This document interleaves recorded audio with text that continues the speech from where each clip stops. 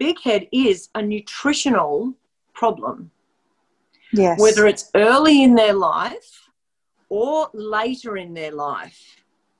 But as with most things camel related, as we are finding, the more we have to do with camels, it's about making sure they are most you know close to their natural environment. They're, it, that they're living and eating the natural, natural things that they would have.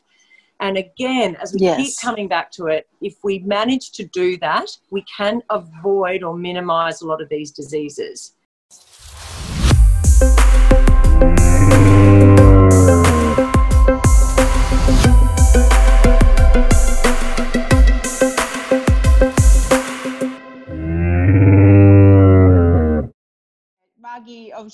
with us for our monthly camel vet talk, and this uh, this month we're talking about osteodystrophy, and it's otherwise known as big head in mainly horses and cattle. I think dogs get it too. Yeah, I guess so. But yeah, big head is the sort of general name for it. Yeah. Yeah. For us, really, really um, important topic. Like for some unbeknownst reason, we have attracted a lot of camels into our lives, young camels particularly, that just had osteodystrophy. So they came from the outback um, and then they came to us and then, you know, it, oh, like it's so it's such a sad sad disease and I, I, do want you to talk technically about it but if i just want to give people a bit of a background on why why it's so important that um, our members here know about this disease. I want to um, show you what osteodystrophy is in camels, and this isn't an easy video to do because um, these three camels have it. And today is the last day that we'll see them. Don't mind me. But the main point is about this disease is that I want to show you what it does to the camel because, you know, it's, it's yes, I'm upset, but I'm sort of glad they're going to be put out of their misery because um, they're going to die anyway. Um, so let's get, so I'll, I'll try and be as precise as possible, but it's a little bit hard without a clear head. But um, this is little Shiloh here and you can see um, on his face see those big lumps on either side. He's probably not going to stand still because he's a very cuddly camel. Um, but you can see on this angle see the the um, the bumps and they're, they're on either side of his head as well. So um, you can see there so these are just like hard cellulose growths, like they're not even squishy, they're hard as a rock. And what that's going to do eventually is, um, well, what it's growing into his nasal na nasal cavity. And we've had a camel, his mum actually, we had her, and um, we got her from from another place, like all of these camels. Um, they've all come to us from different sources. Um, and he, give me, give me a head um, it's he's going to suffocate himself basically with those growths. So that's why we've made the decision today. Well, not today. We made the decision a little while ago to to put them out of their misery. And you know, here he is. He's very sweet camel. He's, he's actually our baby. So, he was born. Big head or fibrous osteodystrophy. It's got a few different names. Um, it's basically a prolonged elevation of a hyperparathyroid hormone. So mm-hmm. it's not a disease, it's kind of a hormonal imbalance of mm-hmm. one particular hormone. Um, it's a hyperparathyroid hormone, well, parathyroid hormone. There's, as Tara was saying, it's not, it's definitely not contagious. So there's no infectious component. It is, there's two reasons why you can get it if you're a camel. One is called the primary reason, um, and that's actually hi- called hyper. So hyper meaning above, not hypo. Hyper parathyroidism. Mm-hmm. Um, the parathyroid glands are paired glands that sit on either side of the thyroid gland in your neck. So your thyroid gland in your neck pretty much regulates metabolism. Uh, the hyper or the parathyroid glands sit on either side and they pretty much navigate calcium absorption and resorption in the body. So mm-hmm, regulating mm-hmm. calcium, vitamin D in the body. Primary hyperparathyroidism or primary big head is if they have a tumor of this gland. Okay, so that's mm-hmm. different from goiter. So, goiter is a tumor of the thyroid gland, and that's iodine related. We'll get onto that later, although you won't okay. have that problem in Australia really. Um, okay.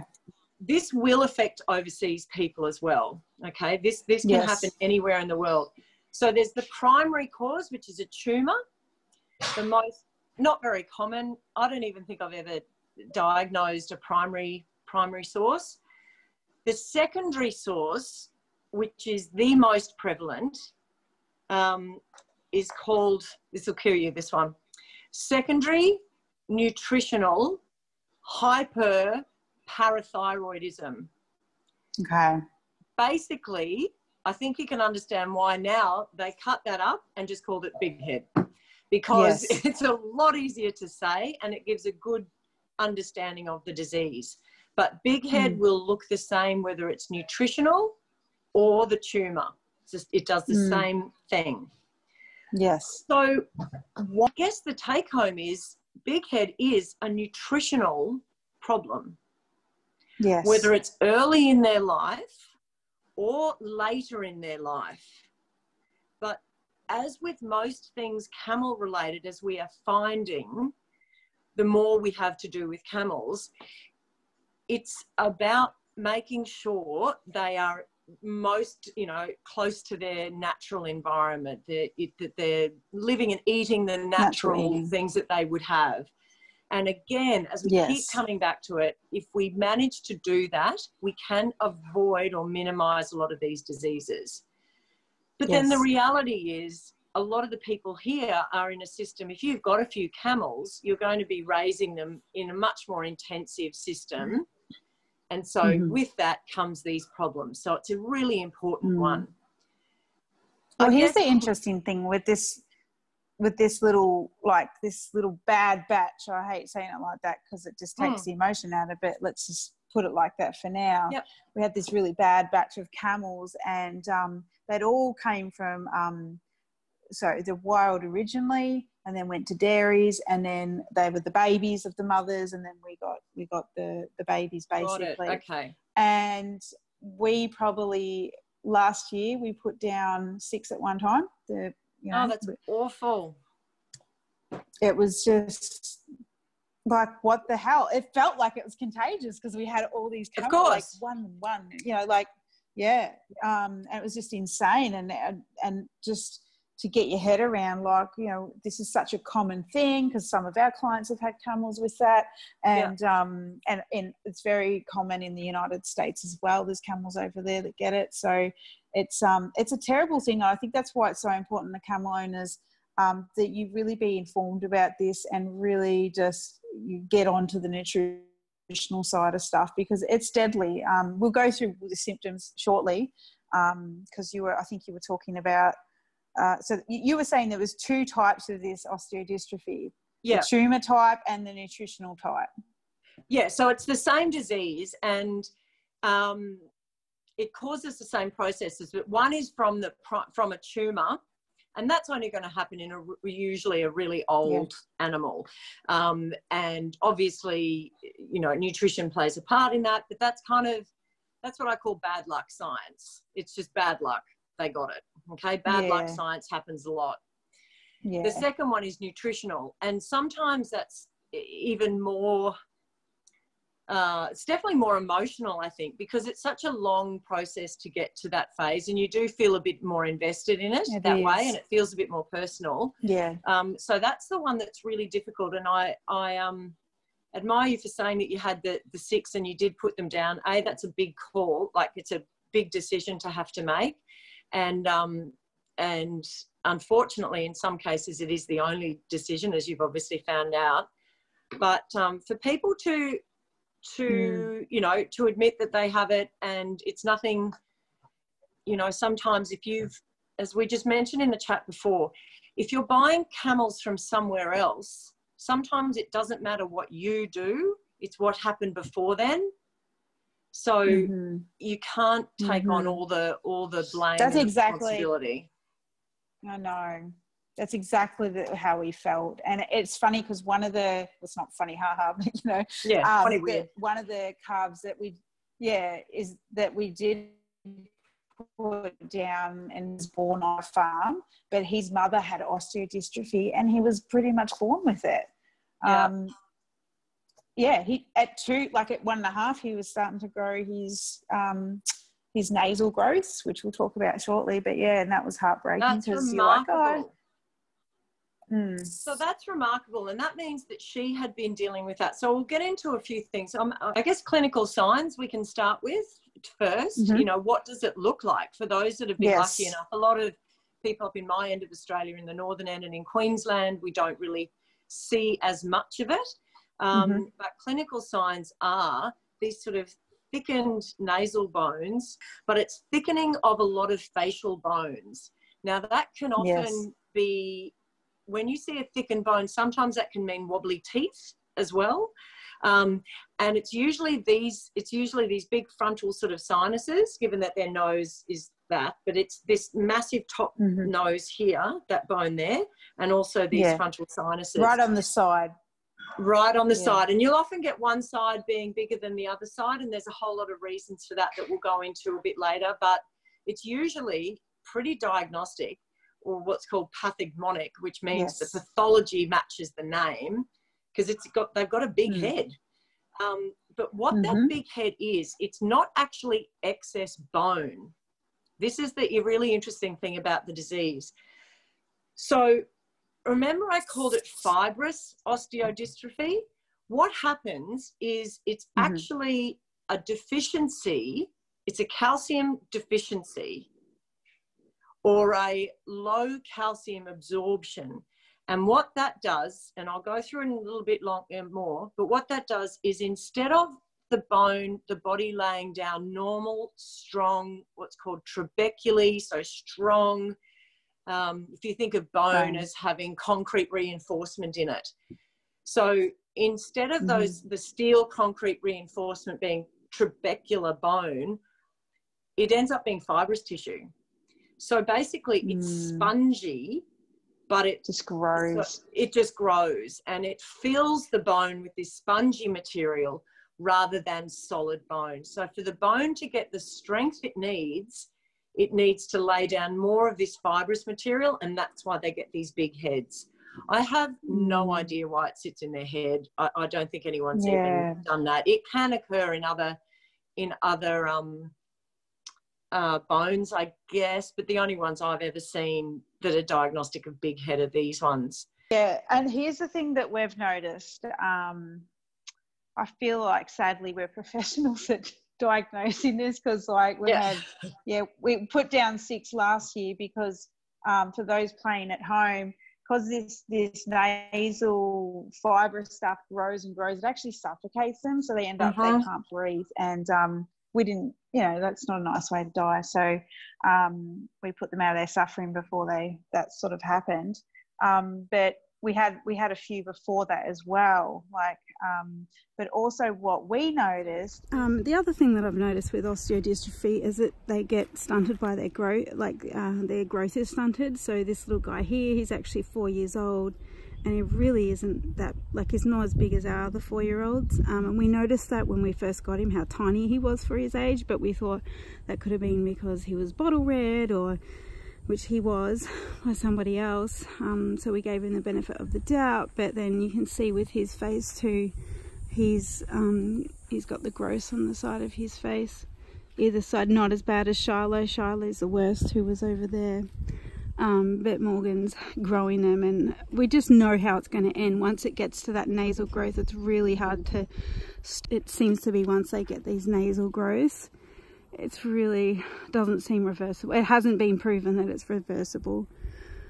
Um, and we can see these guys suffering and that their, their nasal growths are only getting bigger and bigger. This is Red. As you can see, he's super skinny. Amazing looking camel. And he was actually a red camel. So his coat has gone, lost all its colour. Um, he's very skinny. He's got no hump. Um, well, very little hump.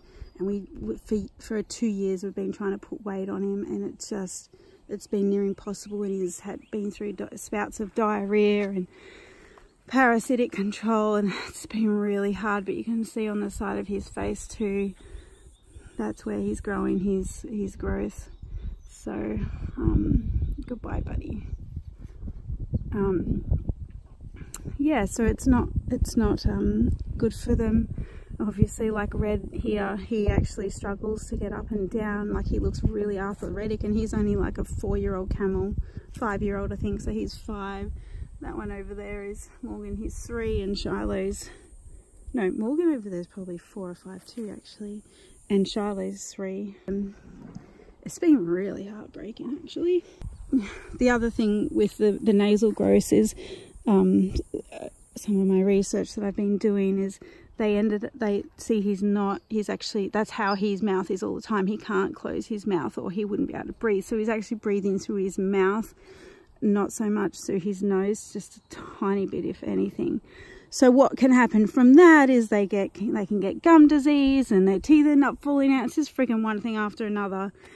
And I just didn't want to see them suffer anymore. We didn't want to see them suffer anymore. So we made that hard decision to let them go.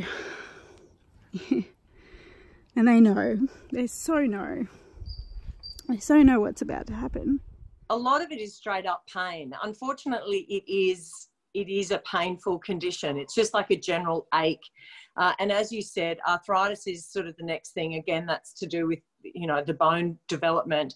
But mm. what the whole yeah, it, it, and the what happens when you get that large um, nasal passage, as you say, they can suffocate. And one of the early signs is often people say, gee, he's breathing really noisily, or he's not eating very mm. well, he's not mm. eating properly, he's dropping a lot of feed. Um, he makes this funny noise when he's running, breathing, and that can be an early indicator. Um, but one thing that I often tell people is just maybe once a month, go to the front of the camel with your iPhone or whatever and just take a photo. Take a photo. Take a photo in the same position so you can compare it month by month. You can delete them at the mm. end. Um, mm. Unless you want a roll of camel selfies, but take a photo of that and then just compare it month by month. Is that getting bigger? Is that, do you think that's bigger?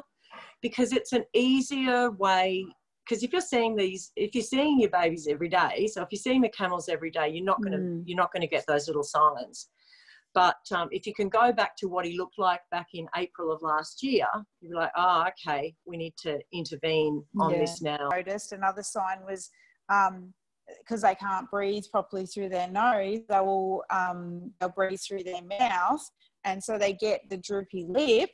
Yeah. Um, to breathe through their mouth, but then their gums get all dry, and then they're they're up for problems with their teeth because their gums are drying out. So how bad does this get? like, you know, it's it's yeah. Just, how bad uh, it feels it like a downhill slope. Um, normally, they die from starvation um, because they can't get up to move around. They can't chew uh, without huge pain or without yeah. fracturing. Because they got sore teeth as well. They got sore teeth. Well, yeah. the teeth are loose. The teeth are loose because normally yeah. with your teeth the teeth are held solid tight into that hard bone but these teeth are loose so that mm-hmm. that hurts um, and they are not um, getting enough air in because as you say if you can't nasal breathe you have to mouth breathe but you can't eat mm. and breathe at the same time so something's got to give so usually they just have this horrible decline in weight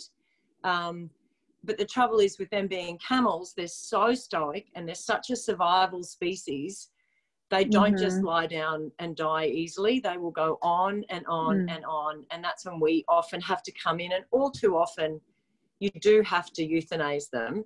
Um, mm. You can manage them, manage them, and you can uh, slow down the progression of the disease. Yes. But unfortunately, guys, once the damage has been done, the actual physical damage to their head and their bones, you cannot replace that with normal bone.